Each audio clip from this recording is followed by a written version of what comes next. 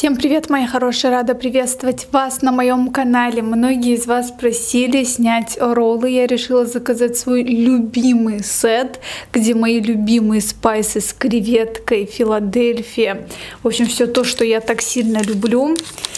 И давайте приступим. Некоторые спрашивали в комментариях, почему я заказываю одни и те же роллы на постоянной основе.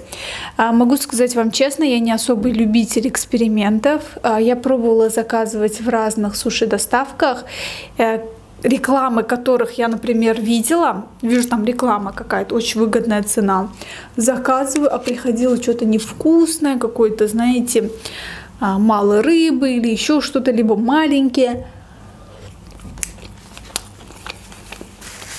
Поэтому в этом плане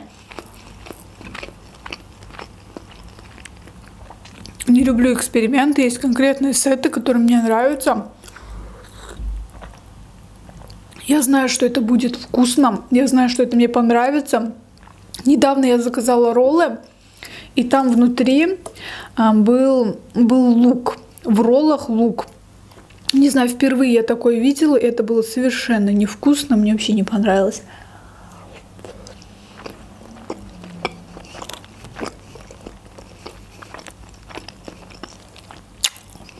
М-м-м.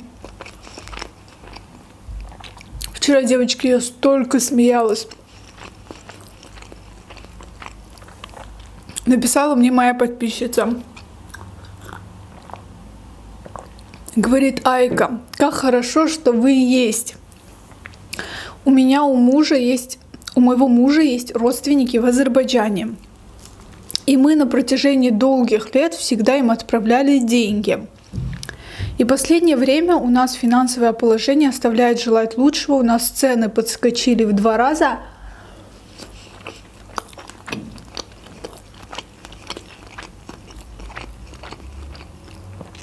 мы им сказали, что у нас сейчас не то финансовое положение, когда мы можем вам отправлять деньги. На что его мама сказала, что у нас тоже в два раза подскочили цены. И тут она пишет, я смотрю твой мукбанк, и ты там говоришь, что цены не выросли в Азербайджане. Я так смеялась, такая зависимость от всего этого. Я прикрыла чью-то кормушку, извиняюсь, моя хорошая.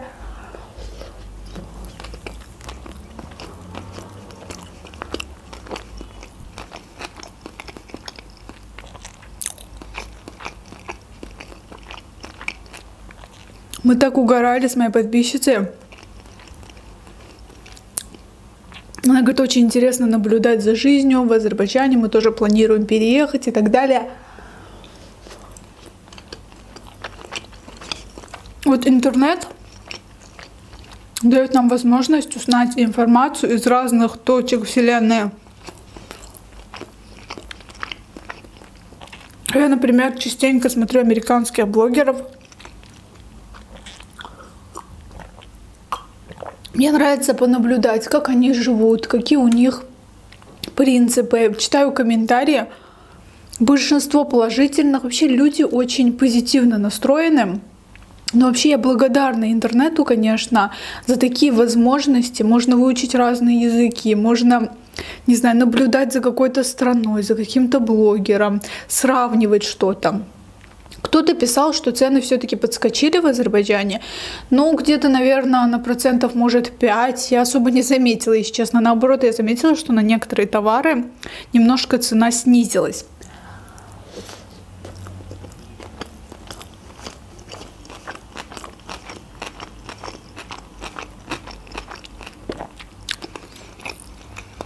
Просто очень смешная ситуация. Вообще я в хорошем смысле немножко завидую людям, которым кто-то присылает деньги, которым как-то помогают и так далее.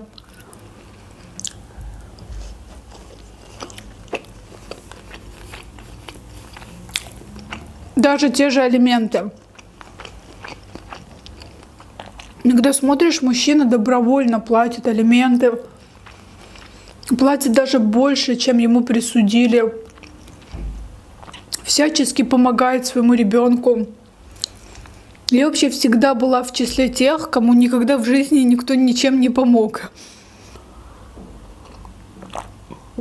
Не то, что я жалуюсь, как бы нет. Но у меня никогда не было родственников, которые живут, например, где-то в Америке и постоянно присылают мне деньги.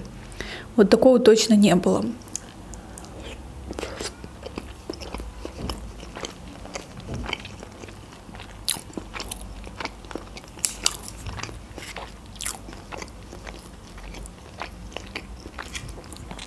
Или, например, среди одногруппниц девчонки, например, встречаются с парнем и говорят, мне нужны деньги на лазер, мне нужны деньги на покраску, это, то, третье, десятое. И парень просто вытаскивает и дает деньги или переводит на карту.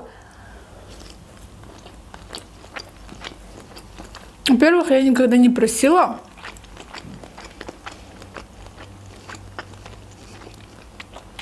Наоборот, мне всегда было неудобно, когда мне что-то делают. Но иногда не то, что белая зависть. Напишите, пожалуйста, в комментариях, кому дарили машины, айфоны. Как вы это делаете? Откуда? Вкусные роллы, обалденные просто.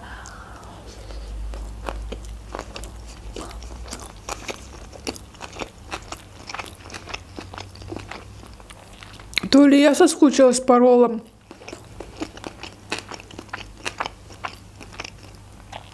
То ли действительно они очень вкусные. Когда долго не ешь роллы, прям так резко. Такой, знаете, кайф.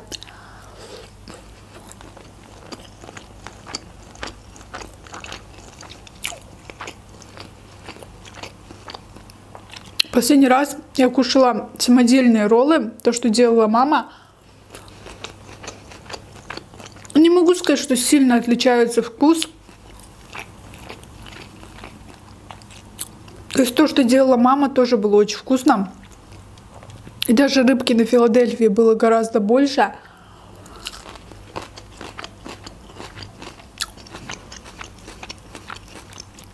Но все эти ингредиенты, если не покупать оптом, покупать в магазинах, получается так же, как и покупать. Нори дорогой, Филадельфия как подскочила после коронавируса. Так что вообще морепродукты у нас дорого, всегда было дорого.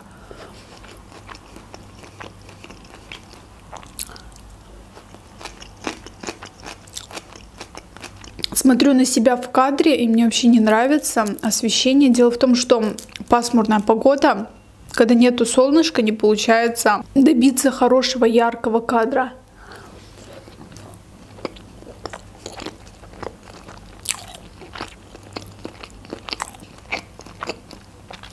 Я решила поинтересоваться и купить себе искусственное освещение. Вчера заглянула Просто освещение, просто освещение профессиональное. Стоит тысячу долларов, прикиньте.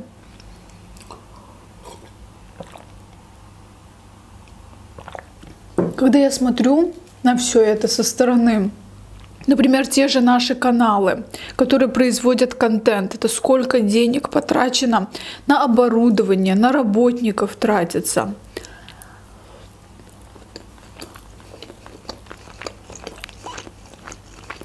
В детстве, когда я смотрела телевизор, я всегда думала, вот всех людей так раздражает реклама. Зачем нужна эта реклама?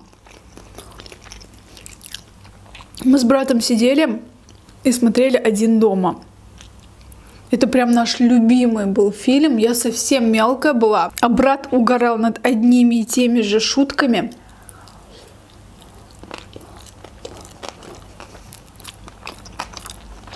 Каждый Новый год.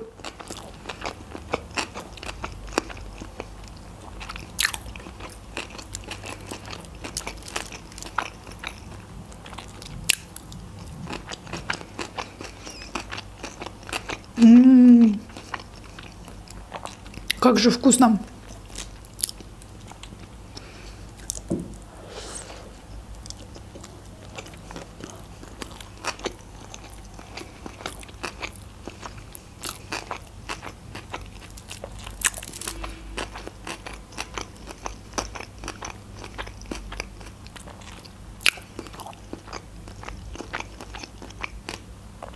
Я прям так подняла, и мне хочется сказать тост. Дай бог, чтобы всегда YouTube был, даже если без монетизации, даже если без бабок, чтобы мы с вами могли посидеть, поболтать, обсудить все детали моей жизни, что как происходит, как все двигается. Кстати, некоторые спрашивали, что там у меня с отношениями. Ну что, мы двигаемся вперед или нет? Как вы думаете? Нет, конечно, мы стоим на месте и буксуем. Еще, наверное, лет пять будем буксовать. Ну да ладно, сейчас в связи с последними ситуациями я как бы особо даже не открываю эти темы, не запариваюсь, я просто смотрю, что творится в мире. И я думаю, господи, были бы такие проблемы. Все это мелочи. Самое главное, живы, здоровы, все отлично.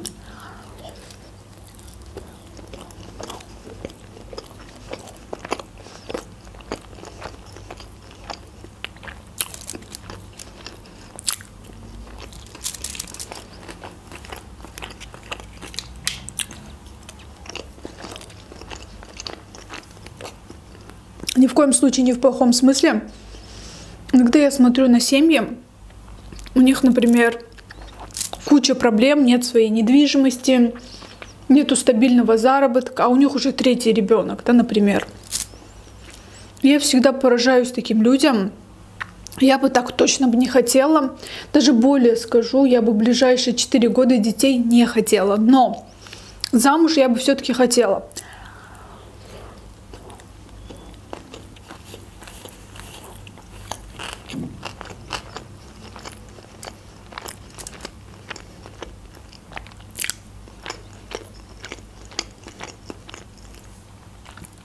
Человека есть финансовая возможность родить третьего ребенка, это замечательно. Например, как у моего брата. Он вообще очень умный, продуманный человек. Я всегда его ставлю в пример. У него родился третий ребенок, но при этом у него есть финансовая возможность обеспечивать каждого ребенка квартирой, всем необходимым, когда это так, то это круто. Но обычно как это происходит? Три ребенка, нету никакой финансовой поддержки, ничего. Просто родили, пусть будет, пусть будет. Зачем?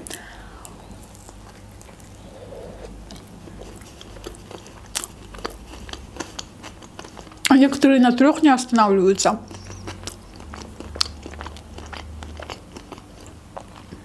У меня вообще свое видение семьи, свое видение свадьбы.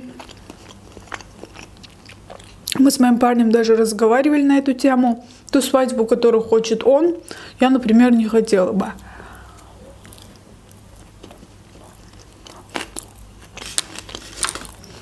То есть он считает, что это должен быть супер дорогой ресторан. Там, не знаю, 400 гостей, я, если честно, вижу в идеале свою свадьбу на берегу моря. Там вот такая арка из цветочков, только самые близкие. Вот, возможно, на яхте как-то что-то такое. Но не вот это вот все, как у нас принято по традициям. Было очень вкусно, и сейчас я наелась, обожралась даже скорее. На этом все. Не забывайте ставить лайки и подписываться. Всех люблю. С вами была Айка.